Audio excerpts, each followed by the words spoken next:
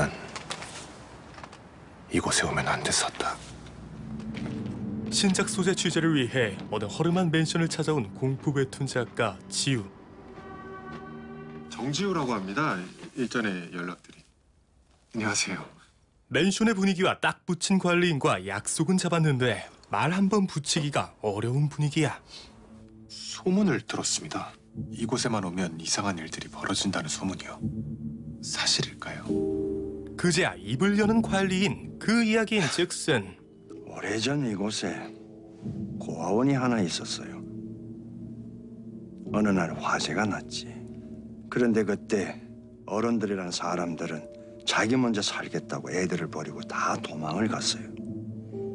애들은 전부 다 다 죽었지. 그때 이후 이상한 소문이 돌기 시작했어요. 어떤 소리가 들린다고. 첫 번째 이상한 소문의 주인공을 만나보자. 이 싸구려 맨션 504호를 작업실로 쓰는 남자. 한때 잘 나가는 소설가였지만 지금은 괜히 노트북에 화풀이만 해대는 신세야. 그러던 어느 날 작업 중이던 남자에게 들려온 목소리. 여기에 또 30년 묵은 것 같은 실내화를 발견. 거기다 또 느껴지는 어린아이의 인기척. 도대체 이게 무슨 일이고? 돌려봐. 결국 관리인실까지 쳐들어와 확인해 보지만 이게, 이게 다요? CCTV에 찍혀 있는 건 자기 자신뿐이었지. 얘, 얘네, 얘, 얘, 얘 이거 지금 나 연맥이는 거야 이거. 제가 알기로는 밑에 층에는 아무도 안 살아요. 뭔 소리야? 내가 다 들었는데 하루 종일 밑에서 쿵쿵쿵쿵 쿵쿵쿵쿵. 결국 그는 점점 더 흥분하기 시작해. 이젠 아예 유사 셜록 홈즈가 돼보시겠다며 층간 소음의 진원지인 402호로 직접 가보는데 계세요? 그곳에는 빼박 증거. 아까 실내화의 다른 한쪽을 발견하는 소설가. 아, 이제 의심은 확신으로 바뀌어 버려. 니들 여기 있는 거 다 알아. 나와. 아! 부모님 나오시라 그래. 하지만 402호 사람들은 묵묵부답. 문 열라고! 저기요! 좀 조용히 좀 하세요. 급기야 남자는 신발장의 실내화를 싹 다 버리는데 글쎄 이래도 괜찮을까? 그렇게 소심한 복수를 마치고 꿀잠이 든 남자 바로 그 순간 난이도 업! 아닌 밤중에 숨바꼭질이 시작되는데 그러게 일반 쓰레기는 종량제에 넣어버렸어야지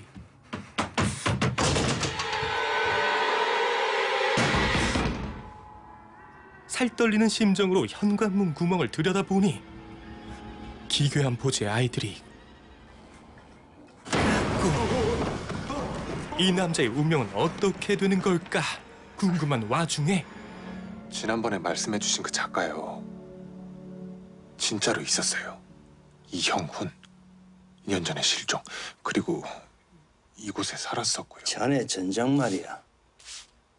제목이 뭔가? 그건 왜? 화제를 돌리는 관리인 아저씨 자네가 궁금해졌어. 어디서 태어났고 전에 뭐에 관심이 있었는지 애인은 있는지 갑자기 왜 이러나 싶겠지만 어르신이 진짜 하고 싶었던 말은 따로 있었지 9층에 어떤 여자가 살고 있었네. 아주 아름답고 수수한 여자였지. 그 여자는 운명이라 여겼겠지만 실은 잘못된 사람을 만나고 있었어. 절대로 만나지 말아야 할 그런 사람.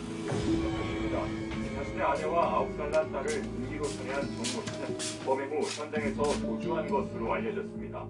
그리하여 시작된 계기맨션의 두 번째 괴담 한미모하는 어느 약사의 이야기야 그런데 문제는 근데 언니 결혼하면 어때? 나 아직 그 인간 만나지. 느끼하게 생긴 유부남. 유부남 많은데 느끼한 건 아니거든. 남의 가정 풍비 박산낼 나쁜 연애 생활 중이라는 거 그날도 어김없이 불륜남과의 미래를 즐기려는데 이 남자 오늘따라 태도가 영 아니올시다 무슨 일 있어? 와이프가 눈치챘어요. 그래도 여자는 물러서진 않았지 잘 됐네. 어? 이혼해. 그게 좀할 소리야? 어차피 있을 일이었잖아. 언젠가 이런 일 있을 거라고 생각 안 해봤어? 새로 시작해, 나랑. 하지만 남자는 생각이 좀 다른가 봐. 나 당분간 여기 좀 있을게. 대신 나 여기 있다는 거 아무한테도 말하지 마. 어쨌든 기간 한정 동거에 들어간 두 사람. 그 기쁨도 잠시. 나. 어? 일찍 왔네? 어. 왜? 최선아 씨 맞습니까? 네. 동산경찰서 강력반에서 나왔습니다. 무슨 일이세요? 정호준 씨 아시죠? 그 정우준 씨 현재 일가족 살해 용의자로 수배 중입니다. 이건 또 무슨 소린가 싶어 급하게 집에 갔더니 오빠, 나와봐. 나랑 잠깐 얘기...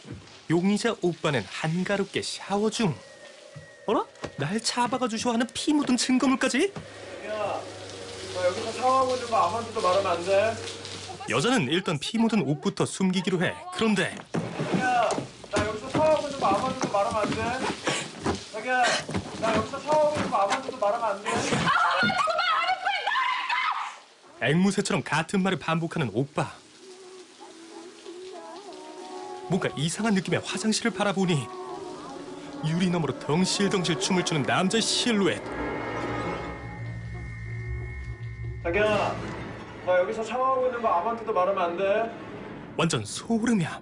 바로 그때 전화야. 문 너머로 보이는 사랑하는 오빠의 얼굴. 세상에. 그럼 샤워 중인 저건 뭐지? 뭐야? 결국 여자는 저기서 오빠랑 똑같은 목소리가 들려.